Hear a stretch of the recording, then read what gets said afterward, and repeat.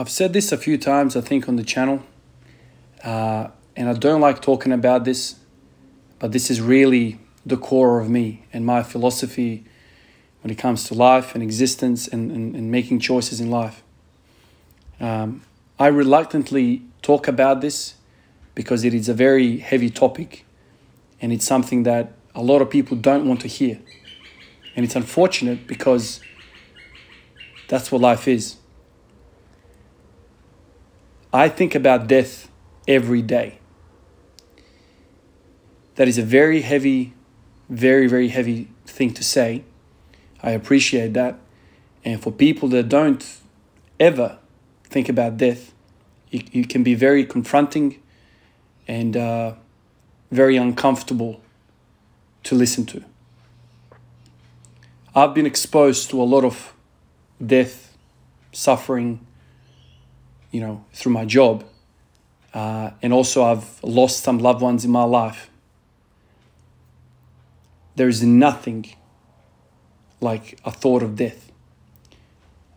It is the ultimate clarity cascade of thoughts for me. Uh, we all have our self talk, I hope at least. We all talk to ourselves before we go to the barbell to lift, you know, whatever set, maximum effort. We all have this chatter. I guess maybe some people don't talk at all. But I often think about these type of things and often process life through some of these thoughts. And when you're experienced, when you experience death, suffering on a regular basis, and you see other people go through these these hardships, I don't know about you guys, but I always leave the situation. I might not be overwhelmed in that moment, but I always leave the situation. I always try to make sense of what I just went through.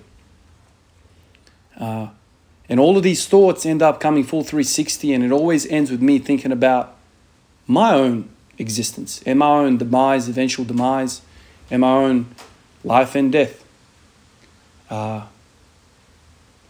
when I go to my loved one my loved one's uh, grave cemetery, I think about when I'm gonna, when my time is up. And then I reverse engineer my whole life and I think about what am I here for? What am I doing?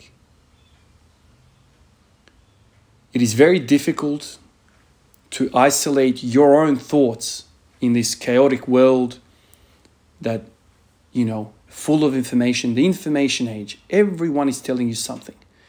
Everywhere you look, there's an advert. They want you to do this, they want you to buy this, they're, they're, they're offering you this. Full on. In previous ages, if you just think back 50 years, 60, 70 years, if, you, if I think about how my grandparents grew up, she probably grew up on a paddock looking after some cows, walking them back, taking care of them, working on the, on the, on the, on the land.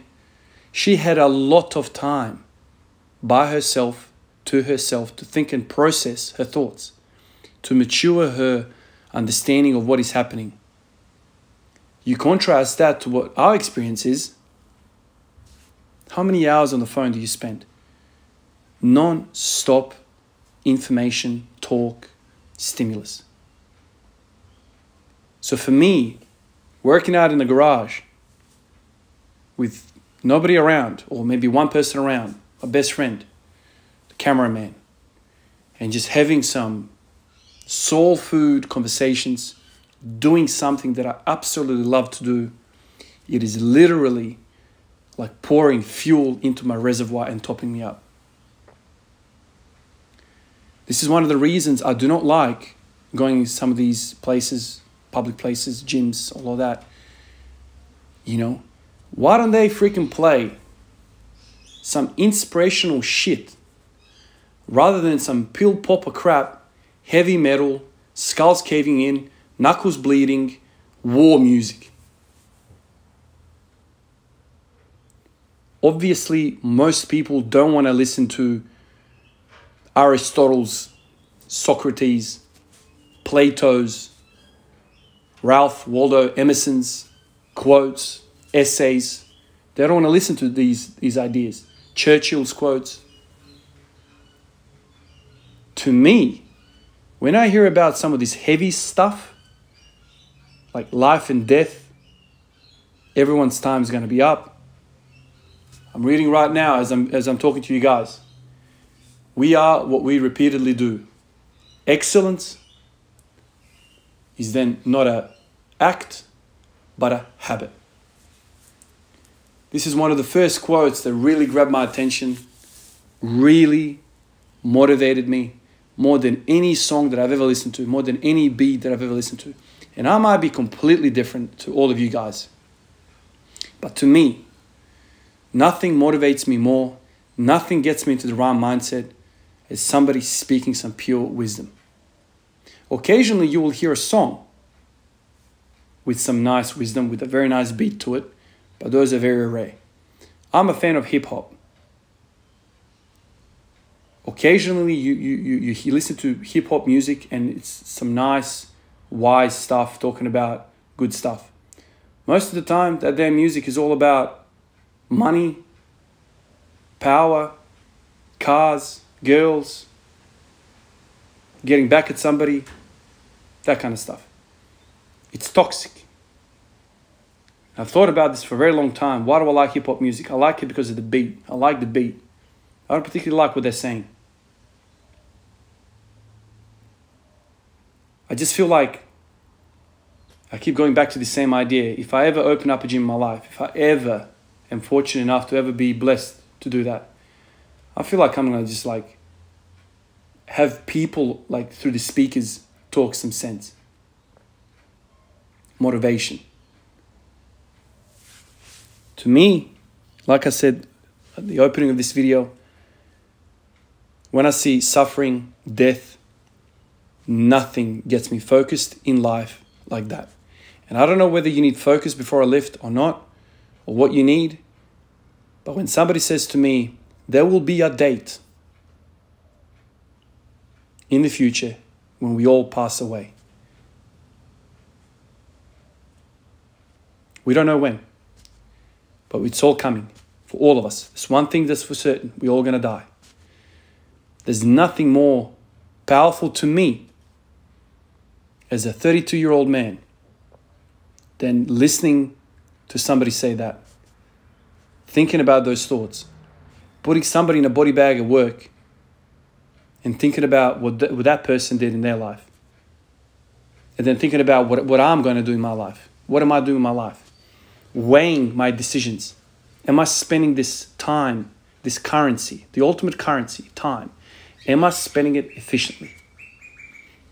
And in this world that we're living in, there are so many damn distractions. There is a million and one things that you could get distracted by. But when somebody says to me, time is ticking, man, time is ticking. How are you spending your currency? There is a date booked in for you. And I think most of us want to do want to do the things that we want to do. There are all of us, I think, deep down in our souls, whether we realize it or not. I've realized mine. All of us have goals, ambitions that we want to achieve. But why, why do some chase it like madmen and women, and some are just stagnant and frozen stationary? Why is somebody squatting every day, thinking about it all the time, making mistakes, plateauing all the time, and still banging his head against the wall, and still thinking about it, and still enthused, still dreaming? Why does somebody do all of that, and another person does nothing? there needs to be a degree of courage. You need to fail. You need to understand that the only way you learn, the only way you achieve is through failure. You learn more when you fail. You practically learn very little, if, if anything, when you win. Because when you win, things have clicked. You know the recipe, it's over, it's done. Close the book, sell it. Tell somebody else, this is the recipe, everyone make the recipe, enjoy the damn food. But when you are in act of making this recipe and you're making blunders and blunders, you're like, okay, so this is not recipe, this is not recipe. I need to change this, I need to change this, I need to change the temperature of this, a bit more of that. I think most of us, most of most of us going through this life, are just afraid of failure, afraid of ridicule. Ha ha ha! This guy's been squatting for 800 days and he's still shit. You play basketball for 20 years, you never made it to the NBA. oh, uh, how long have you been working here? You should know this. One of my favorite freaking things that people say. And I remember being a junior nurse in emergency and listening to seniors say that. How long have you been nursing? You should know that. I feel like frog splashing them from the top damn ropes. I feel like choke slamming them off the damn cage. That's what I feel like doing when I hear that sort of stuff. When people put other people down and get a kick out of it. Man, I love me some bullies, man. I wanna I wanna maul a bully. My favorite thing in life is to identify a bully and square my shoulders to that bully and be like, oh, you wanna go? My favorite thing. You have to learn how to uplift everyone around you. It is not about putting people down. It is about uplifting the people around you, uplifting the community around you, being a, a vehicle of positivity, not negativity. How long have you been working around? You should know the answer to this. Like you're the freaking Aristotle of medicine. Like you are somebody that's, you got a cape around you. We should throw some damn roses on the ground when you walk because you know everything. Freaking Einstein doesn't know everything. And this person is telling another individual, How long have you worked here? You should know this. What the hell do you know, man? These negative people that I rub shoulders, not frequently, infrequently, but I sometimes see them, they are scared, they are, they are vulnerable, and they feed off of other organisms for energy and approval. The people who stick their necks out and say, I don't know the answer to this damn question. I'm willing to upload videos for 800 days in a row and, and, and, and embarrass myself in front of the world, in front of my own family and friends, in the act of working this shit out and making sense of something. I'm willing to be laughed at for years to come because Ivan Djuric doesn't know what the hell he's doing with periodization, doesn't know anything about strength, biomechanics, biology, chemistry. He's got no idea about anything. I'm willing to stick my neck out and be laughed at. Because that very act is the very act you need to do to learn and progress. These people who are tucked in to their little cozy beds on their little keyboard saying ha ha ha, they don't have the courage to walk out themselves and take the damn hit. They don't have the courage to stand in the front line and own it. Bullies are insecure people. Bullies don't have courage. They are like parasites feeding on other organisms for energy. They cannot create it themselves through failure. It is far easier to step on somebody else's shoulder to get ahead than to maybe learn how to climb and work it out yourself. Work out work the problem out some, some different way. And when I think about death, and to think about courage, and I think about failure, it is like a laser beam focus. I know exactly what I need to do. I don't have time, I don't have worries about being criticized negatively, ridiculed.